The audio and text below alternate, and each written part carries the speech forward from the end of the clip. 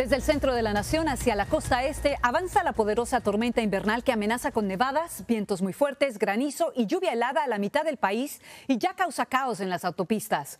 El temporal tiene a 198 millones de personas bajo riesgo de tiempo severo.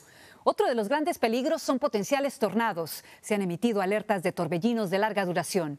También hay advertencias de granizo de hasta una pulgada de diámetro.